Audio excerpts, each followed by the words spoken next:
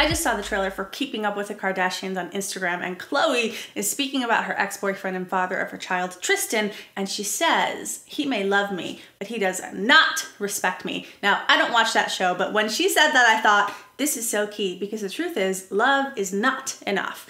I once had a man that I know for certain loved me cheat on me with multiple women. And you have maybe had the experience of being with a man and you know he loves you, but he won't commit or he's unavailable or he cheats or whatever. And it's so confusing because you're like, I know he loves me, so why? Is he doing this? Well, there's a missing piece to making love work, and that's respect. I'm Nicole Moore, love coach and founder of LoveWorks, and I help women all across the globe find a top 1% man and keep him. In this video, I'm gonna share the top three ways to project an energy that increases your chances of making him respect you. Now, if you look up respect in the dictionary, one of the def definitions is due regard for the feelings, wishes, rights, or traditions of others. So you want a man that, yes, loves you, but that also has high regard for your feelings and wishes. Meaning a man that takes your feelings and desires into account in every action that he takes. A man who loves you but cheats, for instance, he loves you maybe, but he doesn't have high regard for your feelings. So here's how to make a man respect you as well. Number one is to get out of the needy, please pick me energy. Need is repellent. We never respect people who are needy. We've all had that experience of being in a clothing store and there's a salesperson who's too pushy with us because they work on commission and they need the sale. And if you've experienced this, you know that the energy of need, it's just repulsive or those people who stand in front of the grocery store and they need you to sign their petition and you're a good person, but obviously in that moment you blow them off, you walk right by them, you don't even look at them. Why? because in that moment you're not respecting them. Now let's apply this to love. Men want to do the choosing, but they don't want to feel like they're forced to choose you or like you need them to choose you in order for you to be okay. So check in. Are you currently feeling like you need a man to choose you, love you, commit to you, do X, Y, Z in order for you to be okay? Now, I'm not telling you not to have needs and wants and desires.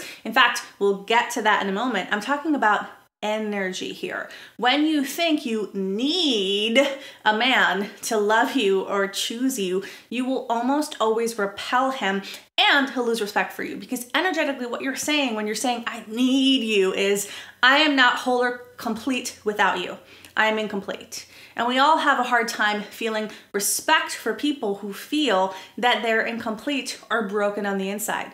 And the truth is, you are not broken, and no one person outside of you is the source of all of your love. When you know that you're worthy and lovable on the inside, and you know that love is abundant, then you can be in the energy of, I'd love to have your love, but I don't need it to survive. I want it, but I don't need it is the best energy to be in. I call that the love goddess energy, where you know your worth, you know what you deserve.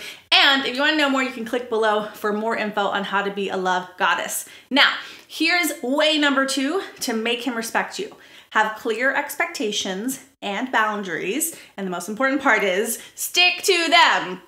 If you want to make a man lose respect for you very quickly, set a boundary or an expectation with him and then go back on it. So, so often women will tell a man that his behavior is not okay, like you're not fully showing up for me, you're not calling, you're not keeping your word, you're getting too drunk or whatever it is. But they won't follow that up with action that demonstrates they are firm in their boundary.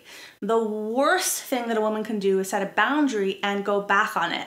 This communicates to a man that your lines are not really firm. So for example, one of my clear boundaries that I had in place before I met my husband Mike was I do not tolerate drama whatsoever in relationships. I knew there was a certain standard for loving and respectful communication that I wanted to uphold with a man. And early on when I was dating him, there was this one moment where he got upset with me for a trivial thing and he kind of tried to guilt trip me. And I was just super clear right away. In a loving but firm way, I communicated that my standard is no drama in relationships and that I was totally open to hearing him, but I would not be guilted. Well, guess what? He heard my communication. He got on the same page with me in terms of loving communication no matter what, even in a disagreement. So, we usually go back on our expectation or boundary with a man because we feel we need him. Some part of us is trapped in a scarcity story that if we lose this man, there won't be anything else or there won't be anything better. So we feel we have to accept his behavior that's lower than what we want because we feel we have no other choice. So know your boundaries, know what you expect and deserve from a man that you're dating. And if he violates that boundary or you explain to him your desires and he does not meet them, be prepared to communicate your boundary and stick to it. If a man sees that you're a woman of your word and that you have the self respect to stick to your convictions, he's much more likely to respect you too. Here's the number three way to project an energy that makes him respect you do things for him, but do more for you. So when you're an over-giving martyr dating personality type, you can find out more about that dating personality type in the links below. You subconsciously believe that the way to get love from someone is to give and give and give and give to them. Now, while you may have a natural inclination to be a caring and giving personality, this gets taken too far to the point where you start giving up everything just to be with them. You compromise on big things like where you want to live, or you give up activities that are important to you just to be with them, or you become a people pleaser. Now, let's be clear. Sometimes moving for a guy or doing for things for him, it's the right decision. But sometimes it represents you being willing to completely completely discard everything that's key and critical about you just to get love. Ultimately, the energy of I need to win your love and I'm willing to sacrifice caring for myself to get it is just not attractive. Think of the energy of a mom who's a total martyr and she does everything for her kids. Usually the kids will love their mom, but they might not have a lot of respect for her. Respect comes to the woman who says, I know in my bones that I am valuable. I know that I am worth it and taking care of me is a priority. I expect you to treat me well and I know what my standards are and I stick to them. And I'd rather lose him than lose me. That's the most powerful position ever for a woman to be in in love. When you love and value yourself so much that if it came down to it, you'd be willing to lose him just to keep you, that's the energy. The second you put caring for a man above caring for you, the second you push yourself to the side to get love from someone on the outside, that's the moment respect starts dwindling.